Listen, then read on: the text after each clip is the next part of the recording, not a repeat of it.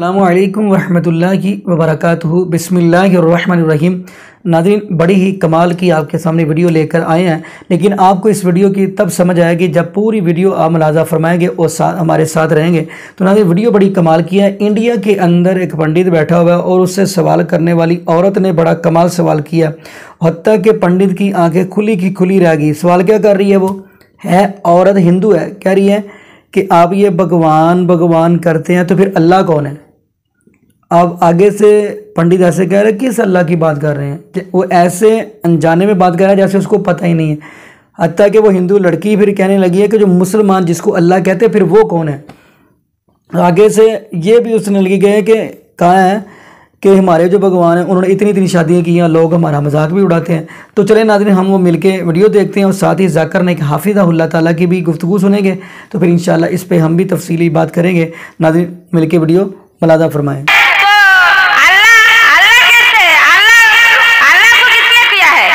किसको अल्लाह अल्लाह मुसलमान किसे अल्लाह को मुसलमान लोगों मुसलमान जाने।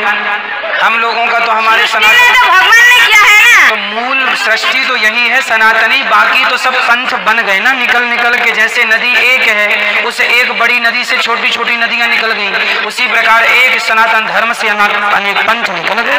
तो ये सब पंथ है। धर्म एक ही है सनातन धर्म। बाकी सब पंथ है। हम मुसलमान सिर्फ़ ये नहीं मानते कि खुदा एक है ये काफ़ी नहीं। मोनोथियज्म के मानी खुदा एक है ये मानना काफ़ी नहीं। हम मुसलमान मानते हैं तोहीद में। तोहीद आता है अरबी लफ्ज वहदा से। मतलब यूनिफिकेशन मतलब वहदानियत।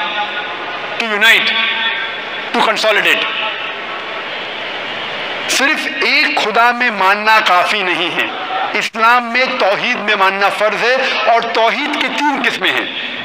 पहला है तोहद रबूबिया दूसरा है तोहद रस्म सिफ़ात और तीसरा है तोहद इबादा। पहली किस्म है तोहद रबूबिया।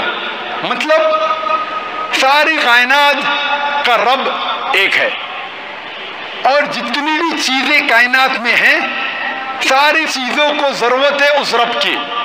लेकिन इस रब को कोई भी चीज़ की ज़रूरत नहीं। Everything is dependent on him but he is independent of anything and everything in this world इसे कहते तोहीद रुबूबिया हम मानते हैं कि हमारा खालिक, हमारा रब, हमारा पालने वाला सिर्फ़ एक ही रब है।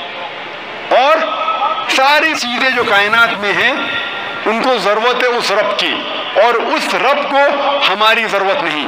कोई भी चीज़ कायनात में उसको ज़रूरत नहीं।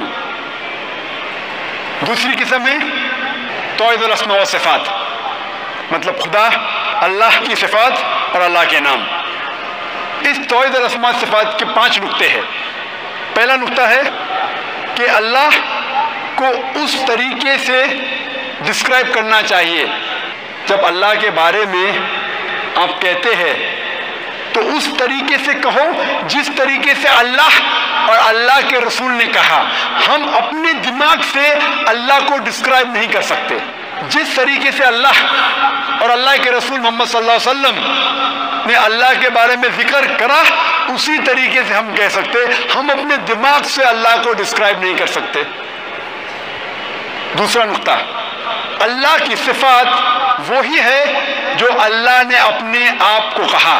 या अल्लाह के रसूल ने कहा, आप अपने आप अल्लाह को सिफात नहीं दे सकते।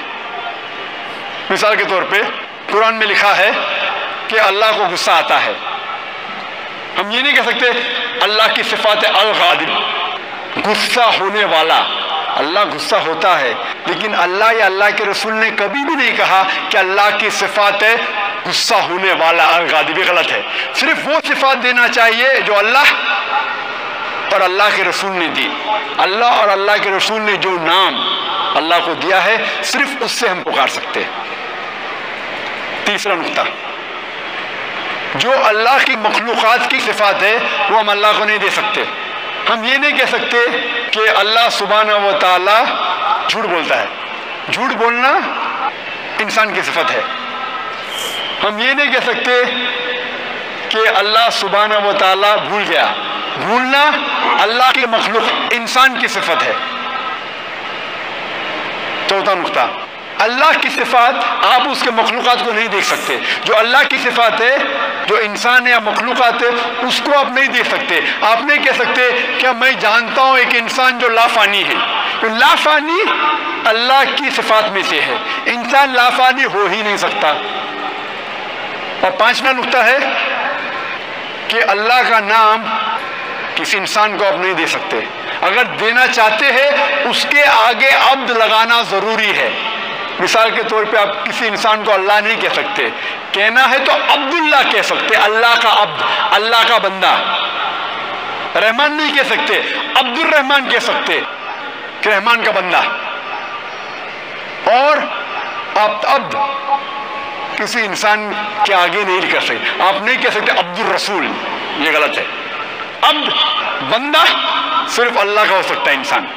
ये पाँच नुकते हैं तोहद असमा के। तोहद की तीसरी किस्म है तोहद अलबादा मतलब हमें सिर्फ़ इबादत अल्लाह की करना चाहिए, उसके अलावा किसी और की इबादत नहीं करना चाहिए। आप अल्लाह को रब मानते, अल्लाह को अच्छे नाम से पुकारते, अच्छे सिफात देते, लेकिन अल्लाह के साथ किसी और को शरीक करे, किसी और की इबादत करे तो ये तोहहीद अल इबादा के खिलाफ है। इबादत सिर्फ़ अल्लाह की होना चाहिए। अल्लाह के अलावा किसी और की इबादत करे तो ये तोहद के खिलाफ है। इसीलिए कुरान मजीद में लिखा है सुर यूनुस में सुरा नंबर 10 आयत नंबर 31 में। कहा जाता है मुश्रिकों के बारे में। जब आप मुश्रिकों से पूछेंगे कि इस कायनात में सारी चीज़ें किसने बनाई? आसमान और ज़मीन के बीच में। इस कायनात में सुनने की कुवत किसकी है? कौन वो शख्स है जो सबसे पावरफुल है? इस कायनात में कौन है जो मुर्दों में जान डालता है और जिंदों को मौत देता है? इस कायनात में सबसे पावरफुल कौन है? ये मुश्रिक कहेंगे, अल्लाह। फिर आप अल्लाह के साथ दूसरों को शरीक क्यों करते? ये आयत में सूर यूनुस में सूरा नंबर 10 आयत नंबर 31 में मुशरक मानते थे तोहिद रबूबिया में। कि अल्लाह रब है। मानते थे तो सिफात, अच्छे सिफात है लेकिन अल्लाह को मानने के अलावा दूसरों की भी इबादत करते थे, उन्हें कहा गया है मुशरक।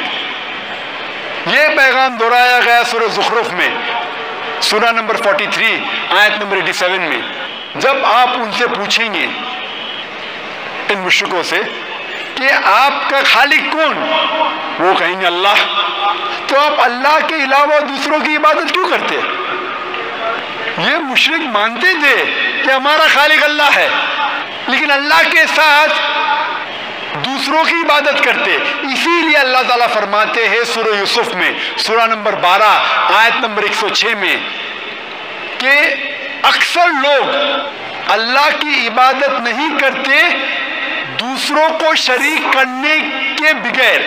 यानी अक्सर जो लोग अल्लाह की इबादत करते हैं, अल्लाह के साथ दूसरे की भी इबादत करते हैं। मतलब इंसान अक्सर जो अल्लाह की इबादत करते हैं खुदा की इबादत करते, ईश्वर की इबादत करते हैं, उस खुदा के साथ दूसरों को भी शरीक करते हैं, दूसरे की इबादत करते हैं। जी नाजीन आपने वीडियो बना, वीडियो बनाना फरमाई। तो नाजीन देखें कि ये जिनको मूर्तियाँ बना के उनके सामने अपने सर को झुकाते हैं, जबीन न्याज झुकाते हैं, मूर्ति खुद ही बना के, खुद ही उन मूर्तियों को बनाते हैं, खुद ही अपने हाथों से बनाते हैं और ख़ुद ही उनको पूजना शुरू कर देते हैं। ऐसे ही आप देखेंगे, अगर आप सीरत की किताबों का मुताला करेंगे कि नबी पाक वसल्लम के आने से पहले क्या हालात थे, वो भी क्या करते थे? वो भी नबी पाक के आने से पहले बुतों को पूजते थे, खुद ही बनाते थे। हती कि ऐसे ऐसे उन्होंने काम किए, कहते हैं कि हमारे जब हम सफ़र के लिए निकलते, एक आने वाला है नबी पाक के पास, आप रहमत रहमतुल्लामीन एक किताब है सीरत की। काजी सलमान मंसूरपुरी रहमत की वो निकालेंगे तो आप उसका मताल करेंगे। तो उसके अंदर लिखा हुआ कि एक आने वाला नबी पासन के पास आया। नबी पासन के पास आकर कहने लगा, अल्लाह के नबी जी की मैं घर से निकल पड़ा, लेकिन जो मेरा भगवान था, वो जो मेरी मूर्ति थी जिसको हम रब कहते थे, वो घर रह गया। तो हम परेशान हो गए। मैं परेशान हो गया कि अब इबादत किसकी करूँगा? जबीन ने आज किसकी झुकाऊँगा? सर किसके सामने रखूँगा? तो मुआज़ अल्लाह अस्तफ़िल्ला वो क्या कहता है? कहते मेरी सवारी ने पेशाब किया तो मैंने उसके साथ मट्टी गीली करके बना के खुद ही आगे रख के उसको पूजना शुरू कर दिया। मोज़ल्ला अस्तफल ऐसे ऐसे काम होते थे। ये तो अल्हम्दुलिल्लाह अल्लाह पाक ने हमारे तरफ़ अपना महबूब भेजा, बल्कि अपना महबूब हमें देकर लकद मनमिन इसबा सफ़ीम, अपना महबूब हमें देकर हमारे ऊपर एहसान कर दिया। नबी पद ने फरमाया कि वो रब्बुल आलमीन की ज़्यादा इबादत उसकी करनी है, उस अल्लाह की इबादत करनी है। उस अल्लाह रब्बुल आलमीन की इबादत करनी है, जिसको किसी ने बनाया नहीं है। जिसको किसी ने बनाया नहीं है, वो तो अकेला है। तो आइए हम आयतल कुर्सी पढ़ते हैं। वो रब्बुल आलमीन की ज़ात कौन सी है? वो अल्लाह की ज़ात कौन सी है? फरमाया, अल्लाह अल्लाक़यूम वो अल्लाह रब्बुल आलमीन की ज़ात है, जिसे ऊँग भी नहीं आती और नींद भी नहीं आती। लाता खुजू सीनतुम वला नौम ऊँग भी नहीं आती, नींद भी नहीं आती। लहू माफिस समावाती व माफिल उसी की बादशाही है ज़मीन और आसमान के अंदर। कौन है जो उसकी इजाज़त के बगैर सिफारिश कर जाए यानी नज़र पता ये चलता है कि वो अल्लाह रब्बुल आलमीन की ज़ात है जिसका कोई शरीक नहीं है।